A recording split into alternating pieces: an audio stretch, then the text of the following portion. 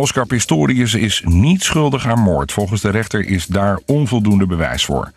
Pistorius kan wel worden veroordeeld voor doodslag. Dan kan hij 15 jaar cel krijgen voor de dood van zijn vriendin Riva Steenkamp.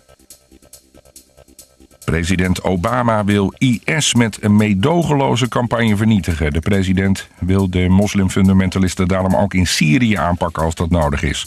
Het kan onder meer door rebellen van wapens te voorzien. De sancties van Europese landen tegen Rusland gaan morgen in. Ze zijn het gevolg van de steun aan de pro-Russische rebellen in Oekraïne.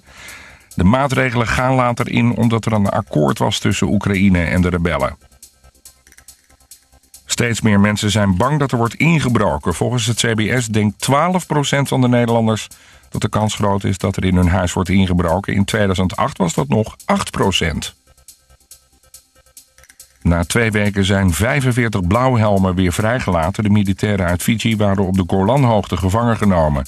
Daar zat een organisatie achter die banden heeft met Al-Qaeda.